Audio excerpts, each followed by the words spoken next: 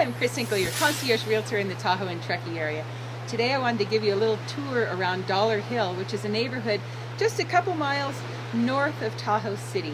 It's a highly coveted neighborhood. It's a really great spot with a recreation association here. They don't call it a homeowner association. It's a recreation association, but you get use of this beautiful sandy beach down here. You can have a, a buoy. You can probably get uh, at least a half a summer's use of a buoy out on um, just right out here in the buoy field.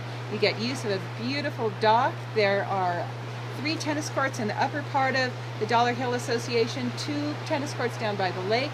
There's a swimming pool that's included. It's a really beautiful association. There's 552 lots here. About 525 of them are members of the association. It's a really great spot. A lot of the homes here are older and some have been remodeled. Even if you buy an older one, I can let you know if it has good bones and a lot of them are right for remodeling. You can do a really great remodel. It's, it's all about location, location, location real estate. So I'm Chris Hinkel, your concierge realtor. Give me a call. I'd love to show you around.